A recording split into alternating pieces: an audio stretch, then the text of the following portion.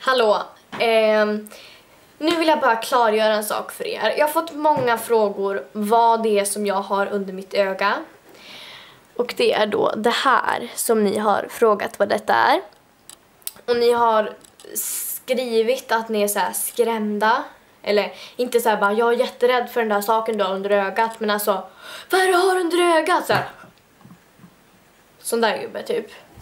Eh, men i alla fall, jag vill bara säga att det är mitt födelsemärke och jag föddes med den här under ögat. Och det är ett tecken på att det är jag som gör den här videon.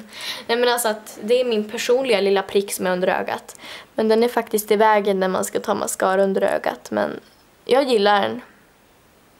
Alltså det är liksom, utan den här pricken så skulle det inte vara Vilma. Det är bara så. Så jag tycker om den här pricken jättemycket. Och nu vet ni i alla fall att det är bara ett födelsemärke och att det inte är ett utslag eller vad var det någon sa? Det var någon som sa till mig bara, inte på Youtube då, då men förut innan jag hade börjat med Youtube bara. Visst är det såna där som blir större och större och tar över hela ögat? Jag bara, nej det är det inte. Alltså, tar över hela ögat kanske var lite att gå över gränsen. Men i alla fall, bara så att ni vet. Um, ja, men ni får ha det så bra. Hejdå!